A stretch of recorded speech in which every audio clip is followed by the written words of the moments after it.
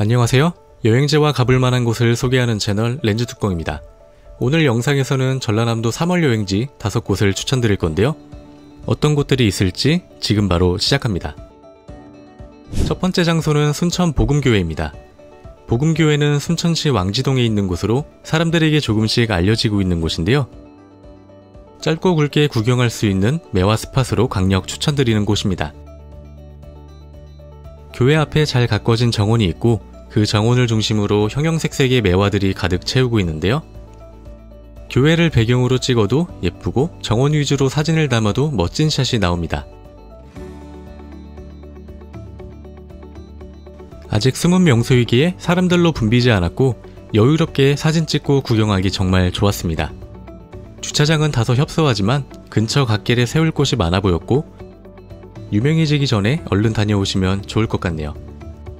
사진도 편하게 찍으면서 한가한 곳이 좋은 분들에게 강력 추천드립니다.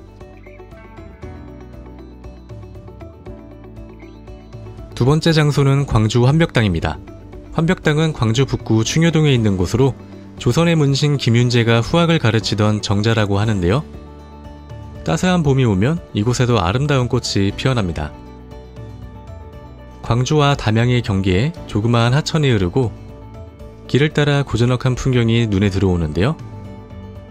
이곳 입구를 지나 계단을 오르면 높게 솟아있는 나무들이 보이고 곧이어 환벽당이 모습을 드러냅니다.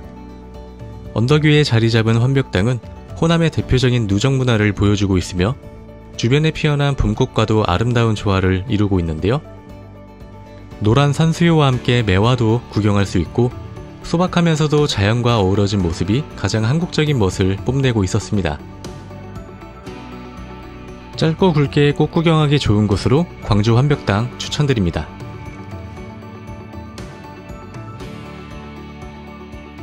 세 번째 장소는 목포 삼양천입니다. 삼양천은 목포시 오감동을 관통하는 하천으로 시민들의 산책 공간이기도 한데요. 봄이 되면 산책길을 따라서 벚꽃이 아름답게 피어납니다. 주변에 공원이 많아서 운동하는 사람들도 있었고 저처럼 꽃구경을 나온 사람들도 있었는데요. 이렇게 다리 위에서 보는 것도 좋고 길을 따라 걸으면서 벚꽃을 만끽해도 좋았습니다.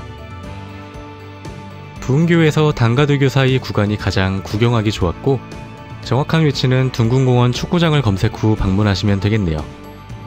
이곳 역시도 짧고 굵게 구경하기 좋은 곳으로 소개드렸습니다. 네 번째 장소는 순천 탐배마을입니다. 탐배마을은 이른 봄이면 마을 전체가 빨간 홍매화로 장관을 이루는 곳으로 순천 최고의 봄꽃 명소로 거듭나고 있는데요. 이곳 탐매마을에 가시면 전국에서 가장 빠르게 봄을 느낄 수 있다고 합니다. 탐매마을은 순천시 매곡동에 위치한 곳으로 정확한 장소는 탐매 희망센터를 검색하시면 되는데요. 마을 곳곳에 피어난 홍매화가 아름다운 풍경을 뽐내고 있으며 마을 주민들이 직접 심고 가꾸는 곳이라서 더욱 의미가 깊을 것 같습니다. 제가 방문했을 땐 이미 꽃이 지고 있어서 다소 횡한 느낌이 있었으나 그럼에도 봄꽃을 구경하기엔 충분했습니다. 개화 시기를 맞춰서 방문하면 더 멋진 풍경을 감상할 수 있으니 한 번쯤 들러보시길 추천드립니다. 마지막으로 소개드릴 장소는 전라남도 영암에 있는 월출산 유채밭입니다. 월출산은 전남 최고의 명산으로 이름을 날리는 곳인데요. 3월 말에서 4월 초가 되면 월출산 풍경과 함께 환상적인 유채꽃을 만날 수 있습니다. 국내 이곳저곳을 다니면서 봄꽃 명소를 보면 아름다운 곳들이 참 많은데 이곳 유채밭은 월출산의 기암괴석이 병풍처럼 펼쳐져 있어서 가슴 뻥 뚫리는 시원한 풍경에 꽃까지 즐길 수 있는 최고의 명소라고 생각됩니다. 주변을 지나던 사람들도 걸음을 멈추고 꽃놀이에 합류했는데요. 다들 인생샷 남기느라 정신없고 또 굉장히 즐거워 보였습니다.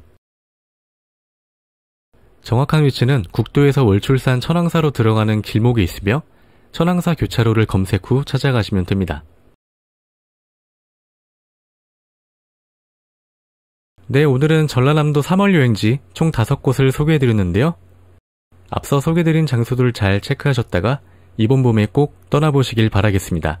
영상 마치겠습니다. 감사합니다.